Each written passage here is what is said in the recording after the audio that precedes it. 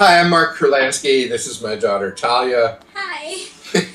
we cooked together and uh, we wrote uh, International Night together and have been cooking international nights for the past three or four years. The idea for the book International Night was your idea. You're the one who Right. figured out that this could be a book and did all of that. I'm the one who asked if we could do this fun thing where we could just spin a globe and wherever my finger landed, cook a meal before it was even a book idea. Oh, okay. That's how I remember it. I, I really, you know, the, the, the whole process of thing became more and more elaborate, and we added things on, and uh, don't really remember whose idea the costumes were, whose idea the hints were.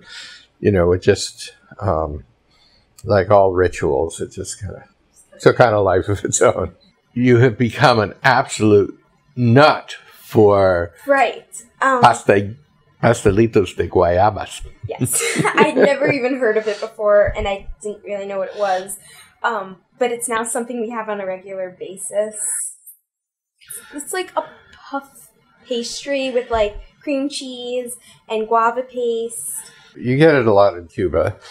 Uh, I was recently in Colombia and they had it too. Oh, it's, it's a bunch of places, but I was associated with Cuba and it's in our Cuba nights. And So we have it for breakfast. we have it for breakfast a lot, which actually is what Cu- Cubans have it for breakfast a lot too. And they sell it on the street. It's really good. Countries with varied cuisines, we literally did exactly where her finger landed. He tells me a lot of stories. a lot of stories. In fact, anything you can mention almost anything and he'll have a story about that item. so I know a lot of stories, but I always you always seem to have more. Um, I didn't know there's a story about pineapples, I think. Oh, in Nicaragua. juice, Um, that I hadn't heard before, that um I've read a couple times. Um but it just seems to be full of a never ending supply story.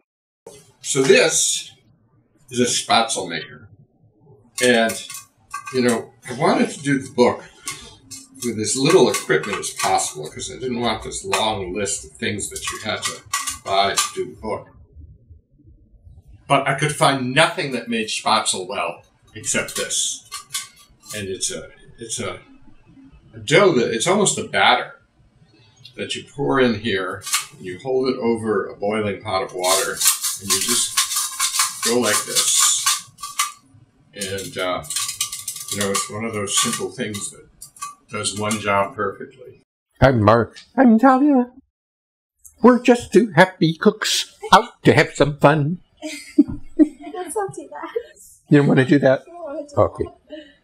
You want to be serious? Kinda. Oh, okay.